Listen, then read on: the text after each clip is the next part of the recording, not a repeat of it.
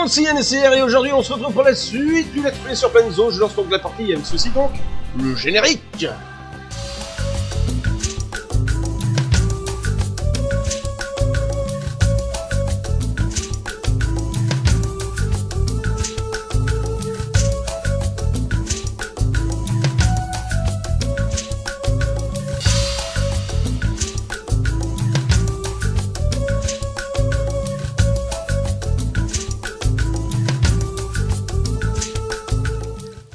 ben, nous y voici, nous y voilà dans une torrentielle de pluie Parce que on s'est arrêté dans la pluie, euh, apparemment. Et euh, du coup, après que l'inspectrice soit venue à inspecter notre zoo et nous a dit Ouais, c'est moyen, mais... Oh, et, déjà le pandarou a déjà... Punaise, dé- décidément, décidément, on va devenir riche. On va devenir riche Je le sens Je le sens. Euh, bref. On va devenir riche. Alors, à propos de riche, avant de faire, euh, de continuer, est-ce que vous avez eu des naissances au vivarium, euh, c'est-à-dire l'endroit où on a eu euh, quand même le plus de... Allô Allô, le jeu Est-ce que le jeu vient de planter? Parce qu'il va m'énerver s'il l'a plante... s'il planté. Non, c'est bon. Waouh, le jeu n'a jamais autant chargé euh, depuis. Bref, du coup, du coup, du coup, euh... est-ce que ici, non, non, mais euh, mais la femelle est enceinte, très bien. Euh, ici, du coup, alors, alors si on veut bien me faire sélectionner juste le vivarium, voilà. Euh, non plus. Euh, ces deux-là ont du mal à faire des, petits, ça, m'inquiète un peu. Euh, du coup, ici, ici, allô, s'il vous plaît. Alors, euh, en alerte, du coup, euh, ça va venir. Là, non. Toujours rien ici. Pas de petits. Pas de petits. Ici, euh, dans ce truc à l'arrière de la boutique, toujours rien. Euh, ici. Rien du tout. Bon, décidément. Ici.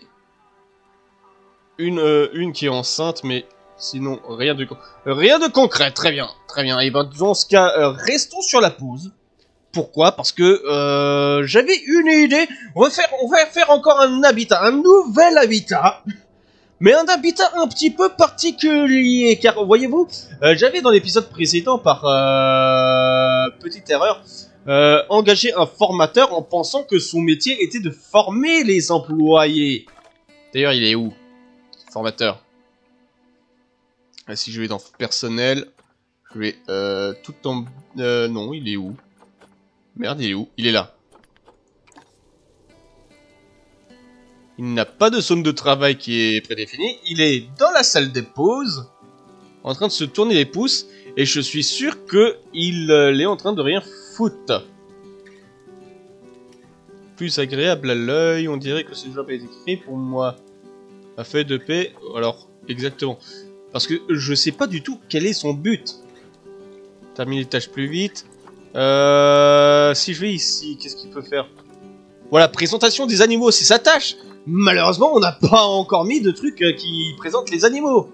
Euh, mais euh, j'avais une idée, en fait, c'est une zone présentation des animaux où les visiteurs peuvent être au plus près des animaux. Car oui, on peut faire en fait une sorte en fait de un peu comme comme dans certains parcs zoologiques où on peut voir par exemple des lémuriens. D'ailleurs, ça va être des lémuriens que je vais faire. Je vais faire un, zone spécial lémurien et je crois que je vais le faire au centre. Pourquoi pas au centre comme ça Un truc comme ça. Alors, euh, ça nécessite bien entendu euh, de faire euh, d'être vraiment bien dans la pratique. En plus, ça va me coûter, je pense, un bras de faire ça. Parce que oui, ça, coûte de l'argent de, faire ce que je compte faire. Je pense le faire au milieu, ça sera en fait le milieu, le centre qui sera la jonction entre entre chaque zone en fait. Donc je vais faire du coup un cercle. Un, espèce d'île, euh, mais vraiment île euh, géant. ou pas si géants que ça. Parce que euh, les lémuriens, parce que voilà, il y a plusieurs types de lémuriens aussi euh, qui est proposé dans ce jeu. Il faut aussi voir quel lémurien va avec qui. si je vais par exemple. Dans, dans, dans, dans quoi? Dans lémur kata. je vais dans optimisation interespèce. Ah oui, il n'y a, a, que deux espèces qui... D'accord. Mais rien ici. Rien pour les loups. Rien pour les lions, rien pour les lamas. Il euh, n'y a pas de truc interespèces. Le kangourou avec le koala. Mais ce sont des espèces, j'imagine, il faut éviter... Euh... D'ailleurs, est-ce qu'on a un moyen de savoir si euh, on peut les mettre au plus près des visiteurs ou pas du tout? Tiens, si je prends par exemple le lémurien anti-escalade, un mètre de profondeur, ah oui, il faut aussi euh, vérifier, vu que les lémuriens sont des grimpeurs, qu'ils euh, peuvent euh, peuvent euh, éviter de, sortir de leur cage en grimpant. Est-ce qu'on a un moyen de savoir si les visiteurs peuvent les visiter ou pas? Pas du tout, n'est-ce pas? Les lémurs ont un mâchoire inférieur qui forme une peigne dentaire idéale pour faire leur toilette. Ah ouais Bon, tu m'apprends un truc tu m'apprends un truc. Mais en tout cas, il n'y a pas d'indication euh, quelque part qui me dit comme quoi euh, on peut les mettre au plus proche des viseurs ou pas. Parce qu'il me semble que les koalas, non. Relation... Ah Relation avec les humains confiants. D'accord, donc peut-être ici, relation avec les humains neutres. Ah là, voilà, voilà, c'est ça que je cherchais. Les, euh, les viseurs peuvent-ils entrer dans les viseurs Oui. Et eh ben les koalas aussi. Je viens d'apprendre ça. Et les kangourous? Non. Bah, par contre, ils peuvent cohabiter avec les koalas. C'est un peu con. Mais attends, pourquoi les visiteurs peuvent rentrer dans les... Normalement, non? enfin, en tout cas, il n'y a aucun parc zoologique qui accepte de... que les visiteurs voient des, des koalas de très près. Bref, en tout cas, pour l'instant, euh, des visiteurs qui peuvent visiter euh, et qu'on peut mettre deux espèces dans le même endroit, euh, pour l'instant, il n'y a euh, que les... Il n'y a que les... Ah, il y a les pans aussi. Les pans, par contre, aucune interespèce, n'est-ce pas? Alors qu'ici... Ici, je pense que oui. Je pense visiteur dans l'habitat, non. Non. Ça, c'est un vivarium. Oh, des phasmes C'est vrai qu'on n'a pas mis de phasmes. Les rennes, je ne pense pas non plus. Ah, mais par contre, les, singes, là, oui. Et on peut faire avec les tamanoirs. Est-ce que les tamanoirs, on peut les mettre? Oui, les tamanoirs aussi. Ah bah voilà, hein, et les tapirs aussi, j'imagine. Un truc, euh, si on peut faire trois espèces. Les tapirs, non. Ah, on peut seulement faire deux espèces par tous ces cas. Bon bah écoute. Je pense qu'on va faire plutôt ça. Un sapajou capucin avec des tamanoirs. Non, euh, un Sachachou euh, capucin avec le tapir de Blair. Ouais, je, suis pas... Puis, non, pas... Non, qu'est-ce que je raconte? Tapir de Blair. Un capucin. voilà. Déjà, euh, on va mettre un capucin que les visiteurs peuvent voir de près. Avec, du coup, un tamanoir. C'est ça? C'est ça Donc, capucin, tamanoir. Il faut que je retienne ça. il faut aussi que je fasse, du coup, mon cercle. D'ailleurs, Capucin, j'imagine qu'il faut euh, vérifier que le Capucin n'escalade pas. Donc il faut vérifier qu'il ne sort pas. Donc ça va être un île euh, Capucin en fait. Et il faut savoir qu'il faut aussi euh, faire des trucs vraiment forestiers parce que dans la vraie vie, car oui c'est dans la vraie vie, il faut savoir que le jeu prend aussi des trucs qui sont de la vraie vie. dans la vraie vie, les Capucins ont peur d'être sur le sol. Ils ont la phobie des sols comme par exemple certains êtres humains euh, la phobie en fait euh, euh, du de, du vertige. Ils ont le vertige quoi. Donc les, les capucins, c'est enfin les capucins ainsi que tout ce qui est espèce de singe sont ont exactement le même symptôme à la différence près que ben que en fait c'est l'inverse, c'est-à-dire que eux ils ont peur d'être au sol, nous on a peur d'être en hauteur. Ce qui n'empêche pas certains d'entre eux, euh, les plus courageux, d'aller au sol ou de, ne pas y aller.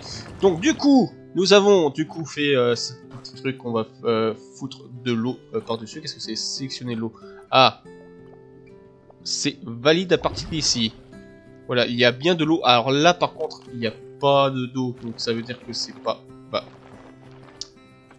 D'accord, très bien. Décidez de me faire chier, on dirait. Voilà. On va vraiment faire quelque chose de, de vraiment profond. On va maintenant mettre l'eau. Techniquement, normalement, ici, euh, j'ai l'impression qu'ici, on peut peut-être encore agrandir. Non. Attendez. Attendez, on va vraiment faire quelque chose. Il faut que ça soit assez large. Il faut euh, éviter, en fait, que le capucin puisse euh, sauter, en fait. Pour le tamanoir, il n'y a pas de souci, parce que voilà, c'est île et je pense pas. Quoique, ça peut nager, un tamanoir. Est-ce que ça peut nager? Est-ce qu'on sait s'il peut nager ou pas?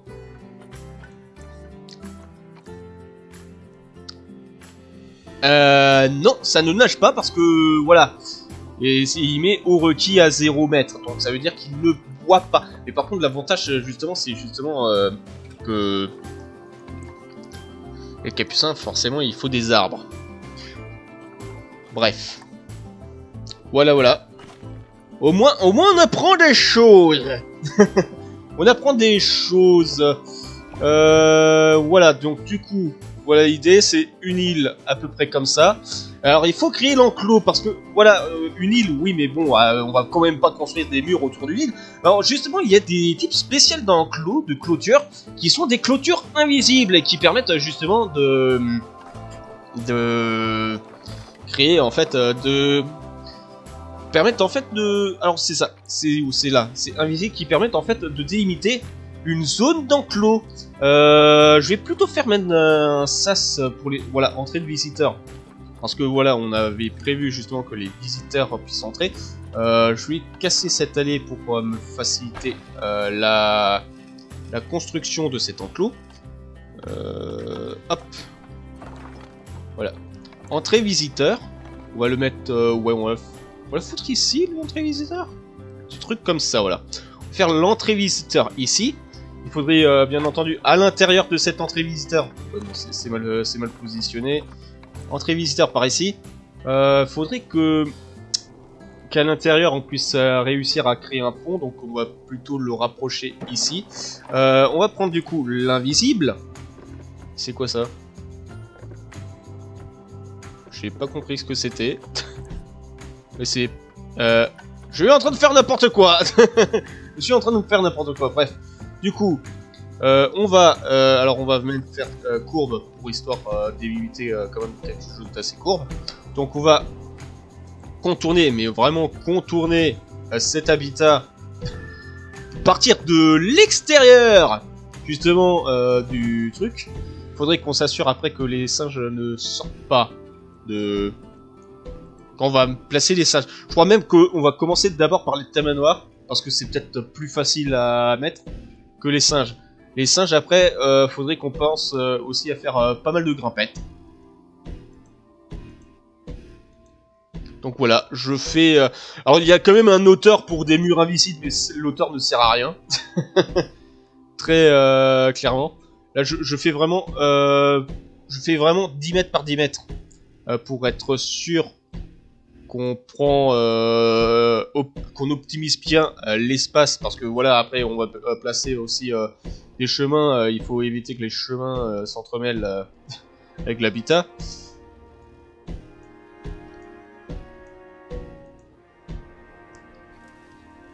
Et je crois même que, histoire de...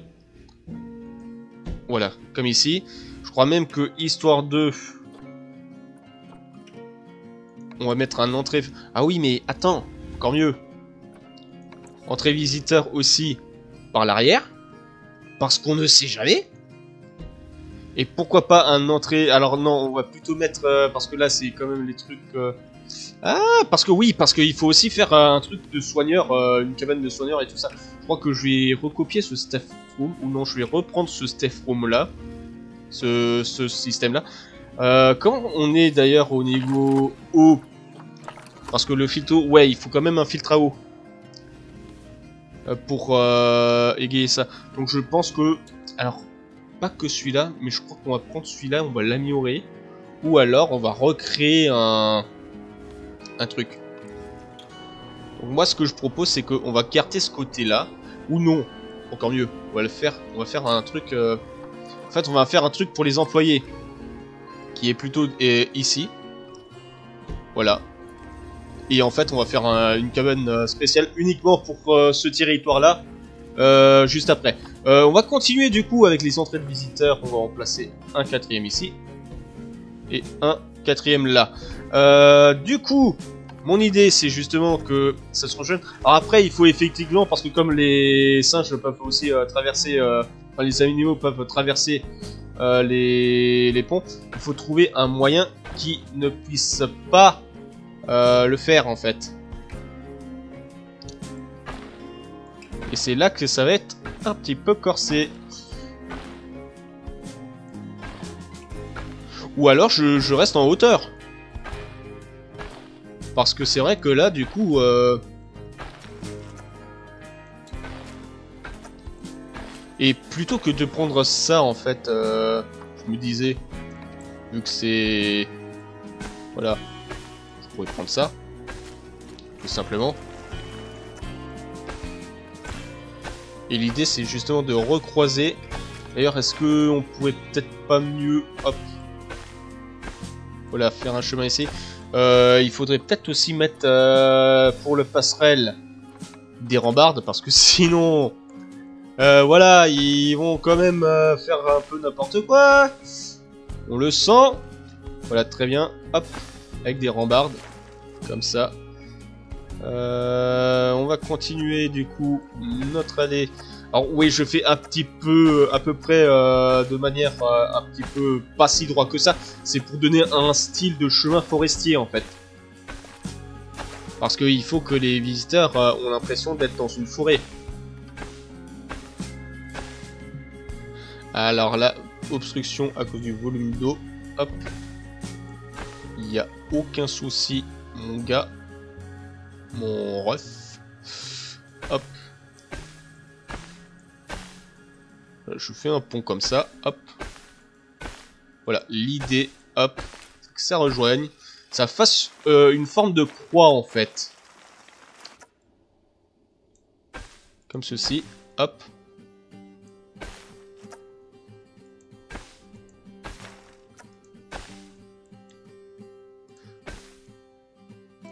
Voilà, comme ça. L'idée c'est de faire une croix dans l'île.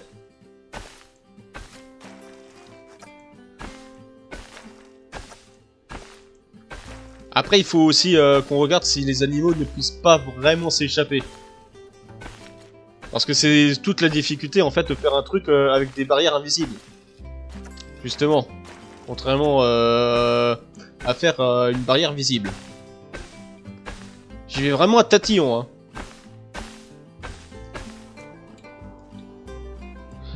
Et cette... Hmm. Là, par contre, il y a un petit problème. Celui-là, je vais peut-être le déplacer. Ah oui, d'accord. d'accord. Euh, je vais peut-être le déplacer, oui, mais le problème, c'est que... Est-ce qu'on peut pas sélectionner... Oh, ce que je vais faire, c'est que je vais sélectionner... Hop, déplacer. Ça veut pas. Ça veut... Ah, si, quand même. On va le déplacer comme ceci. Voilà. Comme ceci, histoire qu'on puisse, en fait, euh, créer un pont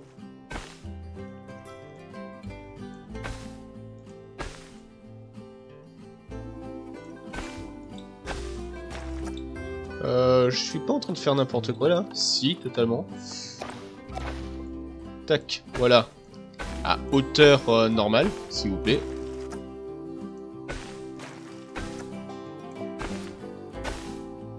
Hop, comme ceci. Fait comme cela.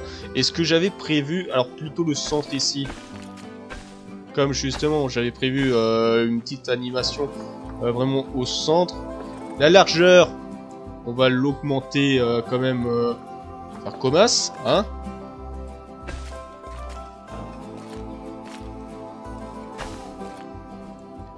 Voilà, comme ça. Genre un carrefour géant. Et on va tout de suite mettre, euh, même si pour l'instant il n'y a pas d'animaux à présenter, dans les services. on réglera après ce qu'il va présenter après.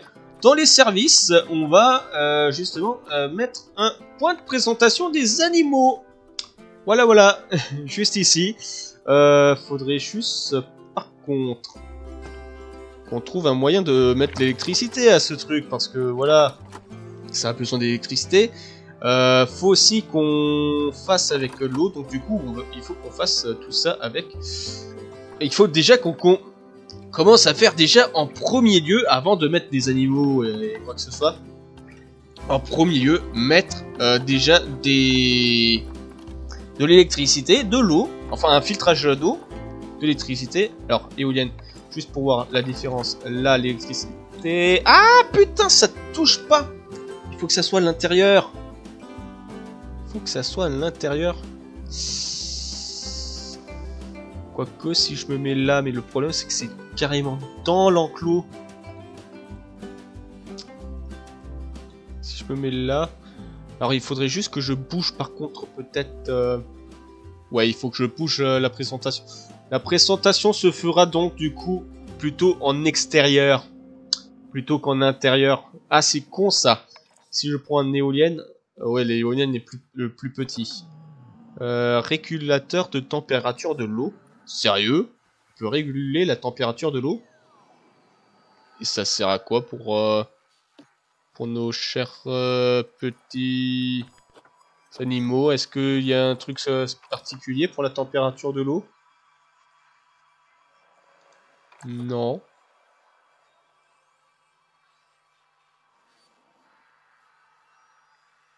Non, je, je crois pas. Je crois pas. En tout cas, je ne vois rien qui dit comme quoi euh, il a clairement besoin euh, qu'on modifie euh, qu'on modifie l'eau. Bref, en tout cas, hmm, du coup, pour l'électricité, ça, ça, ça va être chiant par contre. Il y a vraiment pas moyen de. Attendez. Mettre peut-être un autre endroit. Je vais le déplacer. Je vais le déplacer.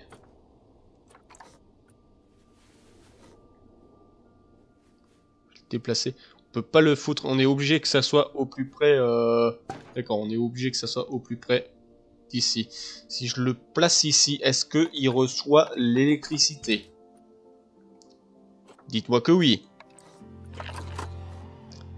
Non, du tout Du tout Très bien. Euh, bon, bah écoutez. Très bien. Euh, au, moins, on sait. Voilà, au moins, on sait. Euh, on sait des choses. Donc, on va se mettre sur le côté. Voilà, on va faire une présentation ici. Oh, et peut-être de l'autre côté, une autre présentation. On va juste mettre un générateur d'électricité. On va mettre une présentation de ce côté-ci. Je sais pas ce que vous en dites. Mais essayons, essayons quand même. Euh, essayons quand même des choses. Euh, ici. Tac. Je vais prendre ça. Hop, je vais le déplacer cette fois-ci de ce côté-ci. Comme ça, il va faire une présentation, je ne sais pas de quel animal, mais on verra bien. Euh, du coup, ben, du coup, il aura forcément l'électricité parce qu'on va le placer. D'ailleurs, on va placer tout de suite les euh, bâtiments essentiels. On va faire la décoration de ces bâtiments dans le prochain épisode. Euh, du coup, du coup, pour faire ceci, on a besoin du coup d'un d'un générateur électrique, forcément, dont l'entrée se trouve là où il y a l'espèce de bouton d'interrupteur. On va avoir besoin aussi d'un filtreur euh, d'eau. Euh, voilà, pour filtrer euh, déjà l'eau, parce que dès, qu'en fait ce filtreur touche une partie de l'eau, ça va normalement faire tout ce qui est avec. du coup, maintenant aussi, parce que voilà, il y a aussi le personnel qui a besoin de bosser ici, notamment la cabane de soigneurs pour faire la nourriture à nos chers animaux de compagnie. Euh, on a besoin peut-être d'une zone de quarantaine. On n'a pas assez de pognon pour mettre une zone de quarantaine? Vous êtes sérieux? Bon, pour un vétérinaire, on n'a pas assez de pognon. Euh... ça risque d'être compliqué si vous me dites ça. Hein. Donc euh, du coup, peut-être aussi un truc de recherche, on sait jamais, peut-être que les vétérinaires ont besoin. Là, franchement, il faut un cabinet vétérinaire. Euh, on peut pas, on peut pas faire sans. on peut pas faire un autre emprunt. Punaise, on a plus de thunes. on a plus de thunes. On a plus de tenaces. Bon bah, ce sera, ce sera en travaux. Pour l'instant, il n'y a rien à visiter. Ce sera juste en travaux. Euh, je vais du coup voir euh, laisser euh, ceci en lecture. Il faut du coup attendre que la fertilisation se passe. Oh, et gestante, ça veut dire que pour l'instant... Oui, pour l'instant non, ça veut dire que il y a un panda qui est, né ou pas? Ils ont fait saut de mouton ou c'est moi qui ai rêvé?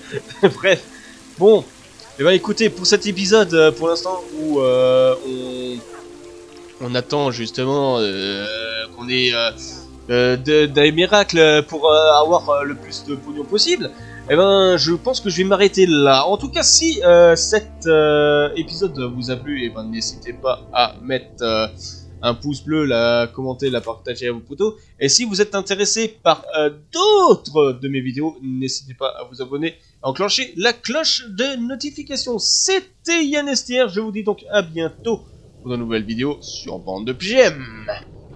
Oh merde. Mais on est en banqueroute Merde